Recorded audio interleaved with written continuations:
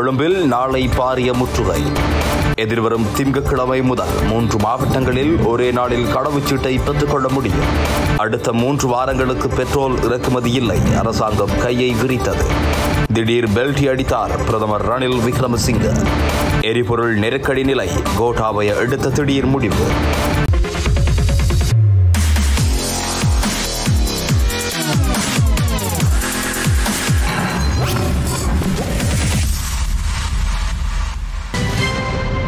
கோட்டாபய ராஜபக்ஷ தலைமையிலான அரசாங்கத்திற்கு எதிராக ஐக்கிய மக்கள் சக்தி நாளைய தினம் பாரிய எதிர்ப்பு போராட்டத்தை மேற்கொள்ள உள்ளதாக அறிவித்துள்ளது.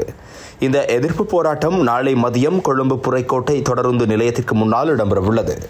அனைத்து மக்களையும் அதில் கலந்து கொள்ளுமாறு ஐக்கிய மக்கள் சக்தியின் நாடாளுமன்ற உறுப்பினர் முஜிபுர் ரஹ்மான் கேட்டுக்கொண்டுள்ளார். எதிர்வரும் திங்கட்கிழமை முதல் ஒரு நாள் சேவையின் ஊடாக கடவுச்சீட்டு வழங்கும் செயற்பாடுகள். மேலும் மூன்று மாவட்டங்களில் முன்னெடுக்கப்படவுள்ளதாக அமைச்சர் தம்மிக பெரேரா அறிவித்துள்ளார். இதன்படி மாத்தரை கண்டி மற்றும் வவுனியா ஆகிய மாவட்டங்களில் ஒரு நாள் கடவுச்சீட்டு வழங்கல் சேவைகள் முன்னெடுக்கப்படும் என அவர் மேலும் தெரிவித்துள்ளார்.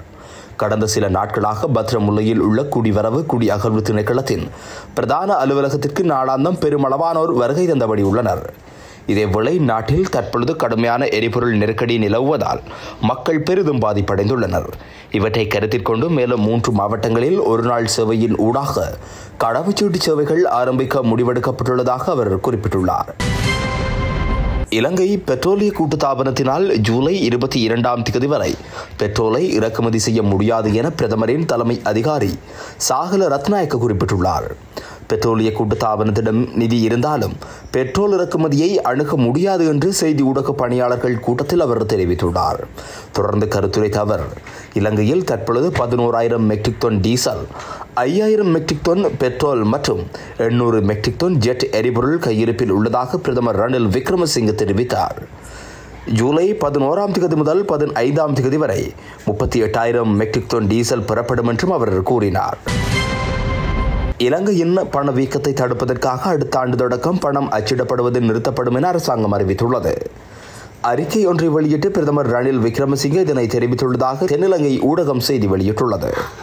கடந்த மார்ச் மாதத்தில் இருபத்தி ஒன்று தசம் ஐந்து சதவிகிதம் ஏப்ரலில் முப்பத்தி மூன்று சதம் எட்டு சதவிகிதம் என பணவீக்கம் தொடர்ந்து அதிகரித்து வருகிறது.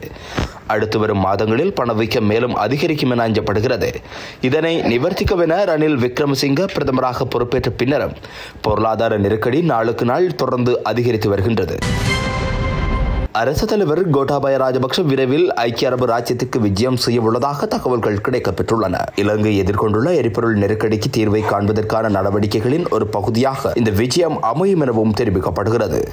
இரு நாடுகளிற்கும் இடையிலான நட்புறவை மேலும் வலுப்படுத்துவது தொடர்பிலும் வளைகுடாவில் உள்ள எண்ணெய் உற்பத்தி செய்யும் நாடுகளிடமிருந்து எண்ணெயை நேரடியாக இறக்குமதி செய்வதற்கான தொடர்பிலும் பேச்சுவார்த்தைகளை நடத்த அரசு தலைவர் விரைவில் ஐக்கிய அரபு ராஜ்யத்திற்கு விஜயம் மேற்கொள்வார் என தகவல்கள் வெளியாகியுள்ளன.